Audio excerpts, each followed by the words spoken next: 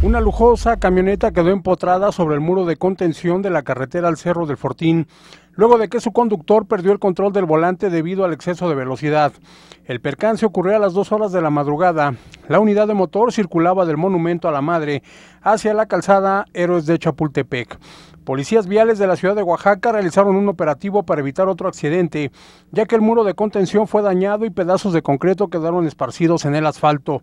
La persona que manejaba el vehículo se dio a la fuga. Informó para MBM Televisión Juan Antonio Ilescas.